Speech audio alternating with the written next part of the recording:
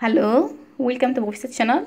We will make a natural Vaseline, uh, fatty acid, moisturizer, essential oil,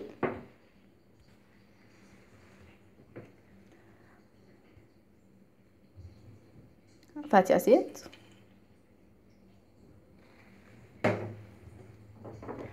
moisturizer, essential oil,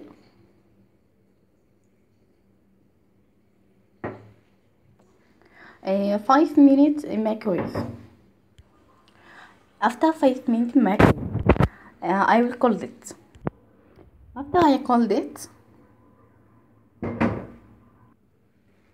uh, look,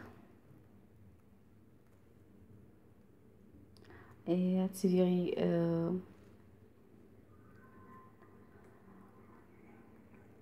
good. Natural Vaseline.